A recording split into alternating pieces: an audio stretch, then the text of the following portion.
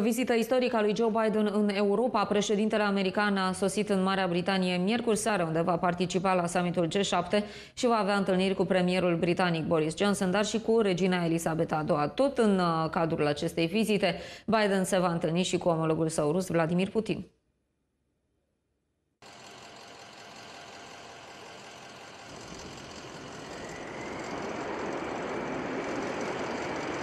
Soții Biden au ajuns în Marea Britanie la bordul avionului prezidențial la baza aeriană Mildenhall, unde au avut parte de o primire entuziastă din partea militarilor englezi. America s-a întors. A fost primul mesaj pe care președintele american l-a transmis imediat după începerea vizitei în Anglia. The United States is back and democracies of the world are standing together to tackle the toughest challenges președintele Joe Biden are programată o întrevedere cu premierul britanic Boris Johnson, apoi o întrevedere cu regina Angliei. Pe 16 iunie, la Geneva, va avea loc o întâlnire istorică și între Joe Biden și președintele rus Vladimir Putin. Rusia nu se așteaptă la o reușită în plan diplomatic în cursul summitului G7. Este de părere ministrul de externe rus Sergei Lavrov. Întâlnirea între cei doi lideri mondiali vine pe fondul tensiunilor dintre cele două țări după evenimentele recente. Deturnarea avionului în Belarus, comportamentul agresiv al Rusiei la granițele Ucrainei, precum și otrăvirea și încarcerarea disidentului Alexei Navalnei, sau recenta discuție privind sancțiunile impuse Rusiei după anexarea peninsulei ucrainene Crimea. Președintele Statelor Unite ale Americii Joe Biden a început miercuri primul său tur de vizite în străinătate de când și-a preluat mandatul la Casa Albă. Vizitele lui Biden în Europa au ca scop repararea relațiilor cu Europa stricate de predecesorul său și de a da un semnal de coeziune pentru NATO.